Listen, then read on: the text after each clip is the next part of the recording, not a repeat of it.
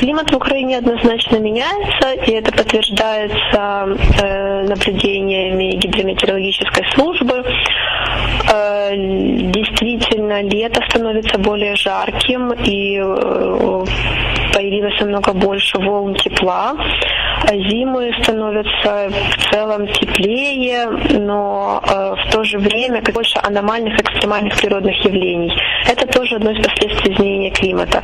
То есть э, есть тенденция потеплению, но в то же время увеличение количества экстремальных явлений.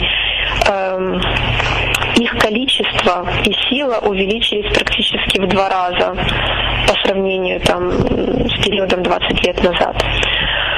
Э, что ожидать в будущем? Э, то есть климат, вот эта тенденция потепления будет сохраняться, то есть э, тепловые волны, которые мы наблюдаем сейчас, они будут еще больше и еще, ну как бы, еще более тяжело переносимые. Да, все это будет нарастать. То есть могут появляться ураганы, штормы, которые были для нас не как бы которых раньше не было, все больше экстремальных погодных э, явлений.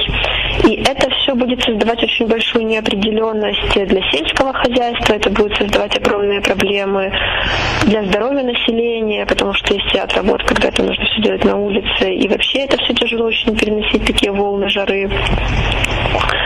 А, плюс будет опять-таки страдать инфраструктура.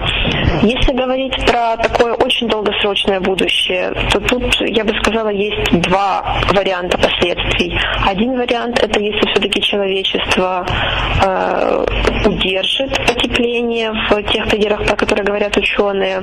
И в таком случае последствия будут еще хуже, чем сейчас, но в принципе с этим можно будет как-то справляться. Если человечество не сможет справиться и какие там войны, либо какие-то другие проблемы станут на первый план, то, э, к сожалению,